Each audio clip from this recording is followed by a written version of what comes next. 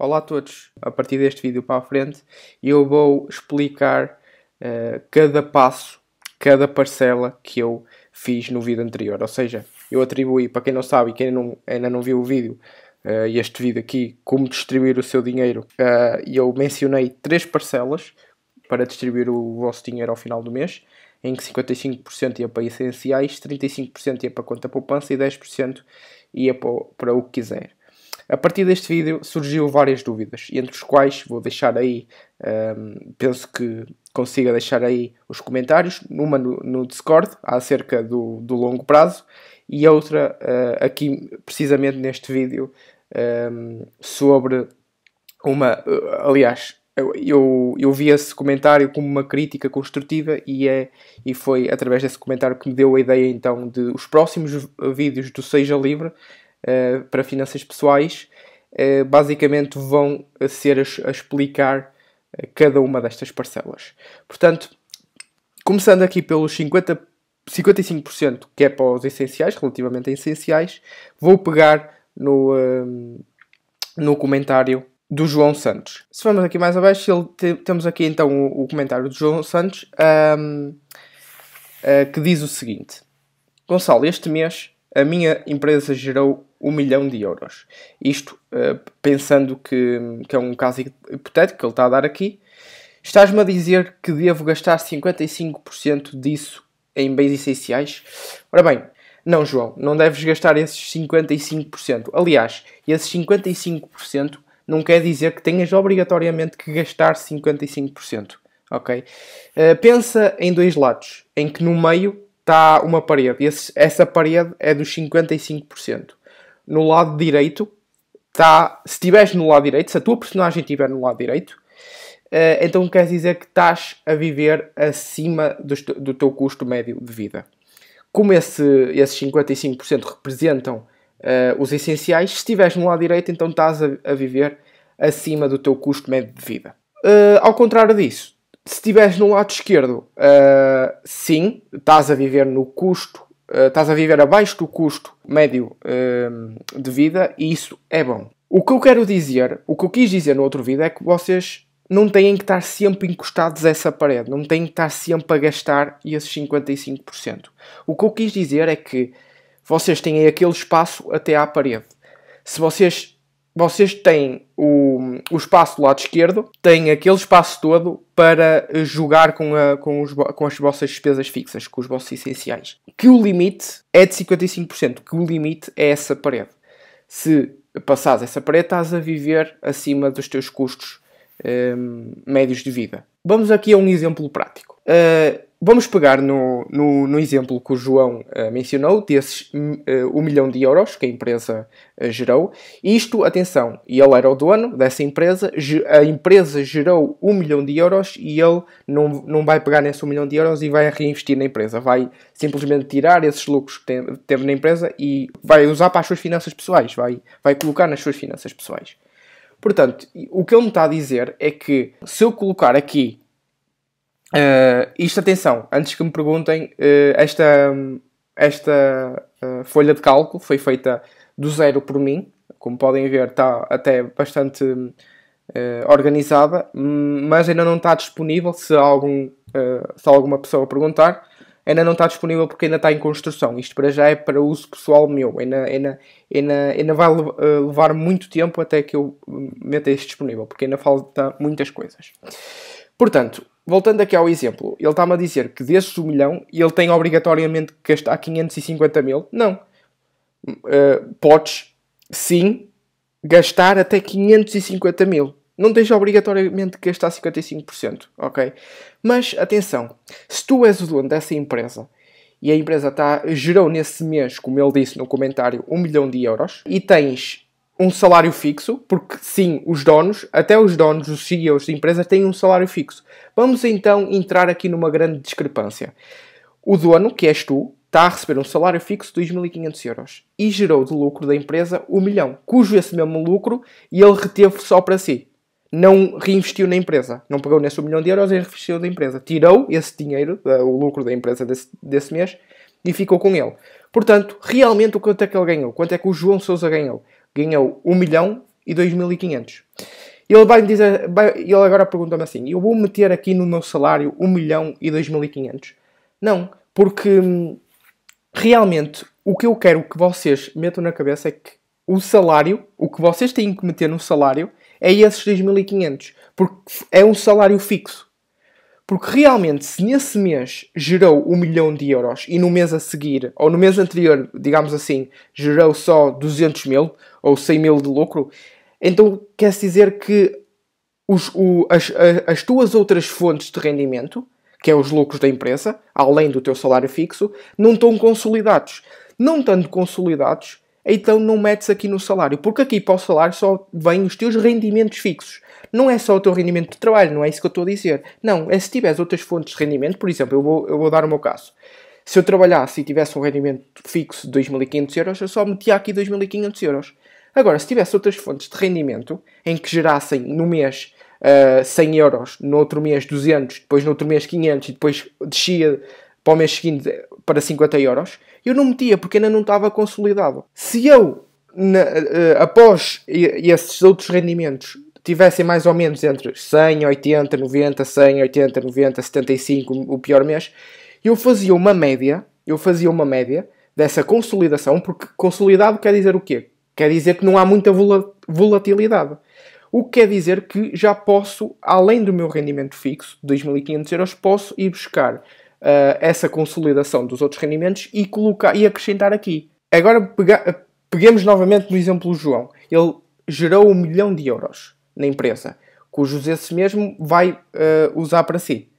Vai retirar da empresa. Mas tem 2.500 euros fixos. O João o que vai fazer é colocar no salário 2.500 euros. Porque ele sabe que esse 1 milhão, ou teve um mês muito bom na empresa, em que ele decidiu depois retirar e não reinvestir na empresa, que depois, no próximo mês, pode já não ter esse 1 milhão. Portanto, é isso que eu digo. Enquanto não tiverem os vossos valores consolidados, não metam aqui no salário. Enquanto o vosso salário for o único salário que vocês digam assim, ok, eu recebi em janeiro 2.500 euros, sei que em fevereiro, em março, abril, maio, junho, etc, etc, até dezembro, vou receber sempre esses 2.500 euros. É fixo. Portanto, vocês contem sempre com isso e nada mais. Sempre. Portanto, 2.500 euros, o que é que dá possivelmente para essenciais? 1.375. Ok? Portanto, João, tu podes gastar até 1.375 euros em essenciais, nas tuas despesas uh, fixas essenciais ok? Na, na, na, na, tua sobrevivência e na tua qualidade de vida. Até aí espero que tenhas entendido e as outras pessoas também. Mas agora dizes-me assim: ah, eu tenho que gastar estes 1375. Não. Eu tenho, no meu caso, não é? Eu tenho aqui outra folha de, de cálculo separado, aqui com o diagnóstico, em que vejo, isto já, já antes, de, antes de começar o vídeo, já, já coloquei aqui algumas despesas, em que vejo que estas são as minhas despesas fixas que tenho por mês. Portanto, tenho Netflix, telemóvel, Spotify, ginásio, cabeleireiro, gasolina e alimentação. Pode até, podes até ter mais, ok? Podes até ter mais, mas uh, aquelas que eu, me, que, eu me lembrei, que, que eu me lembrei foram estas. Por exemplo, podes ter renda, ok? Vamos pôr aqui uma renda pago em um, transferência, por exemplo. Uh, isto é um, é um exemplo hipotético, não é? Transferência 500 euros, ok? Isto são as tuas despesas fixas. Quais são então as tuas despesas fixas? As tuas despesas fixas são 969,58. Destes 2.500, tu podes gastar até 1.375 euros. Dentro destes 1.375 euros, tu sabes que tens em despesas fixas 969,58. Portanto, até aí tu dizes assim: perfeito, eu estou abaixo um, do meu eu estou abaixo desses 55%, eu estou abaixo do meu custo uh, médio de vida, abaixo desses 55%, ok? E agora perguntas-me outra situação. Ah, e então para onde é que eu, os outros, o outro milhão de euros que eu retirei da minha empresa? O outro milhão de euros, se tu tivesses uh, um, abaixo, das, depois de, de, colocares aqui os teus 2.500 euros, o teu salário fixo, se tivesses então abaixo das tuas, uh, do teu custo médio de vida, neste caso estás, se os essenciais é 1375, a despesa fixa é 969, estás abaixo, portanto está bom, não precisas de uh, uh, tirar o, uma parte do dinheiro do milhão e colocar ainda mais aqui no salário, ok? Já vamos ver mais à frente um, um exemplo prático. Portanto, se não precisas disso, onde é que vais colocar um milhão? Há três situações possíveis. Dívidas, reserva ou vai para a conta poupança. E a, a, a nível de hierarquia é assim que eu faço. Primeiro, vou às dívidas. Tenho alguma dívida para amortizar? Tenho. Ok, então pego nesse, nesse 1 milhão de euros e amortizo essa dívida. Ok. Um, não tenho dívidas para amortizar? Ok, perfeito. Vou passar para a segunda mais importante desta hierarquia. Reserva. Tenho a minha reserva de emergência, o meu fundo de emergência, como vocês quiserem chamar, constituído? Não? Então uh, procuro uh, tirar um pouco desse 1 milhão de euros e constituir a minha reserva. Tenho, não tenho dívidas. Não, tem, já tenho a minha reserva constituída. Para onde é que vai esse 1 milhão de euros? Para a conta poupança. Quanta poupança é essa que eu, como eu disse no vídeo anterior, distribuísse por investimentos, reforma, uh, longo prazo, que uh, uma das dúvidas foi uh, qual é a diferença entre longo prazo e, um, investimentos, que eu já vou falar num vídeo, num dos próximos vídeos, que eu vou passar por tudo isso, não é? Portanto, isso é o que devias fazer esse 1 milhão de euros. Agora vamos então perceber se tu tivesses a viver acima das tuas expectativas. Imagina aqui então que tu tinhas 400 euros em gasolina e então tinhas uh, em alimentação uh, 300 euros. 400, aliás, porque não, não fica negativo, ainda não fica negativo. Vamos pôr aqui 450. Eu estou a dar, eu, aliás, vamos pôr aqui na, na renda 600. Pronto, isto são as tuas despesas fixas, ok? Atenção, despesa fixa é a categoria e não o valor. Isto pode variar de mês a mês dependendo do, do que estás a pagar, não é? Uma, uma renda pode variar de mês a mês se estiveres em taxas variáveis, não é? Mas isso é outras histórias. Uh, tu vês aqui, vais a geral, novamente, tu vês para um rendimento uh, de 2.500, tu uh, estás a viver abaixo, estás a viver 94,58 euros 94 euros, ponto 58 cêntimos, assim aqui é, desculpem, abaixo da, da tua, do teu custo médio de vida, ou seja, desses 55%. Uh, por cento. Portanto, aí o que é que tu fazes? Aí tens duas situações, que uma recomendo e outra recomendo menos. Ok? Tens, tens a primeira que eu recomendo menos, que é desse 1 milhão de euros que tens a mais, pôres aqui 500, 500 euros desse 1 milhão, portanto, ao, pôres, ao colocares 500 euros desse 1 milhão, colocas 3 mil euros de salário. E aí já estás a viver acima da. No próximo mês já vais viver com esses 3 mil euros acima do teu custo. abaixo, peço desculpa, do teu custo médio de vida. Mas isso também não hum, recomendo porque lá está. Foi só esse mês, se calhar, que tiraste da empresa ou que a empresa teve um, um bom mês. Portanto, tu tens que ver que o teu salário para o próximo mês pode, pode ser novamente 2.500 euros e daqui a 2, 3, 4, 5 meses também 2.500 euros. Portanto, vais sempre uh, estar abaixo da sua, da, do teu custo médio de vida, desses 55%. Portanto, o que eu recomendo, se tu estiveres na margem de segurança abaixo, ok? Se tiveres a, a, as tuas despesas fixas forem acima do teu, dos teus essenciais, fazes, vais aos teus diagnósticos, aos teus, às tuas despesas fixas e vês ok, o que é que eu posso cortar? Primeiro, a minha hierarquia é o que é que está aqui em excesso. A segunda hierarquia é uh, colocar isto de uma forma uh, a nível de custos, do, do custo mais importante ao custo menos importante. Portanto, vamos, vamos primeiro ver o que é que, quais são os, os custos em, em excesso. Vamos aqui então ao cabeleireiro. Vamos aqui ao, aos mais, enfim, um, aos mais altos, aos custos mais altos. Vamos aqui a gasolina. O que é que eu fiz este mês? Ou neste, neste, exato, neste caso, neste mês, porque no, tu fazes este diagnóstico, tu fazes as, as tuas finanças pessoais no último dia desse, do mês em que estás. Portanto, chegas aqui, o que é que eu fiz neste mês? Ah, não sei o que, eu fiz viagens para visitar não sei o que, fiz viagens necessárias. Então, se fizeste viagens necessárias, então vais retirar essas viagens necessárias para o próximo mês. Vais basicamente anular essas viagens desnecessárias. Já não vais fazer essas viagens. Portanto, digamos que vais para o próximo mês só gastar 300 euros. Então aqui quer dizer que estás com uma economia de 100 euros. E aqui uma margem de segurança já positiva, ou seja, já estás a viver abaixo das tuas, enfim, das tuas, uh, do teu custo médio de vida, desses 55%. Mas tu vês que esta margem de segurança além de estás a viver abaixo desse custo médio de vida, hum, esta margem de segurança é pouca. Porque eu recomendo, o que, o que eu sempre digo é teres uma margem de segurança, sei lá, de 50, 75 euros. Entendes? Máximo dos máximos 100 euros. Porquê? Porque, como eu disse, o que é fixo, a, a única coisa que considerares fixo é a categoria da despesa e não o valor. Portanto, pode variar. É por isso que eu digo, durante esse mês pode ter alguma, alguma coisa inesperada nestas despesas fixas, aumentar alguma coisa que eh, tens essa margem de segurança aqui, ok? Tens esta margem de segurança. Portanto, tu vês assim, ok, eu gastei 400 euros em alimentação esse mês, então deixa-me ver o que é que eu comprei. Ah, eu, eu comprei em excesso, não sei o quê, não sei, uh, não sei que, que carne, comprei excesso de carne, comprei excesso de arroz, massa, etc, etc. Uh, e o, e o que eu necessitava era realmente aquilo. O que eu necessitava era realmente um, alimentação que custasse 300 euros. Portanto, no próximo mês só vou gastar 300 euros em alimentação.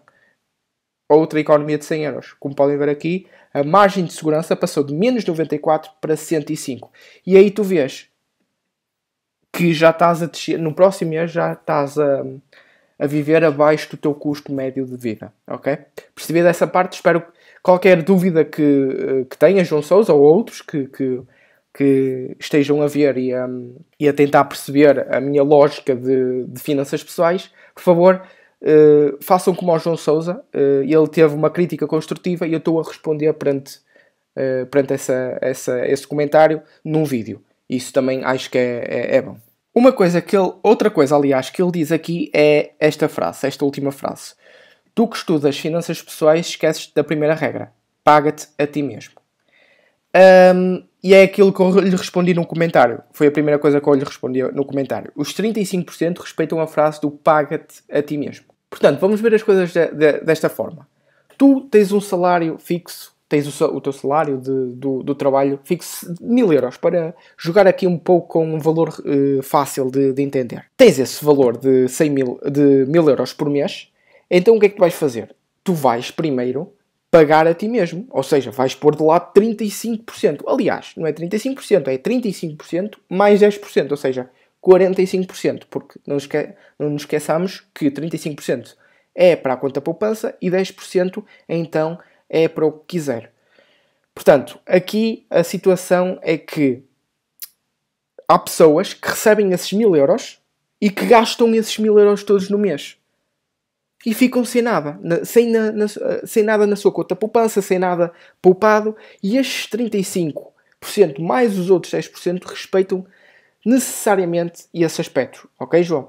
Uh, portanto, esses 35% mais os outros 10% do que quiser, que respondem ao que quiser, uh, são é, é uma das primeiras coisas que faço para puxar um, para puxar uma, uma percentagem da, enfim, do meu salário que recebi naquele mês para puxar para, para mim, para me pagar a mim mesmo, ok?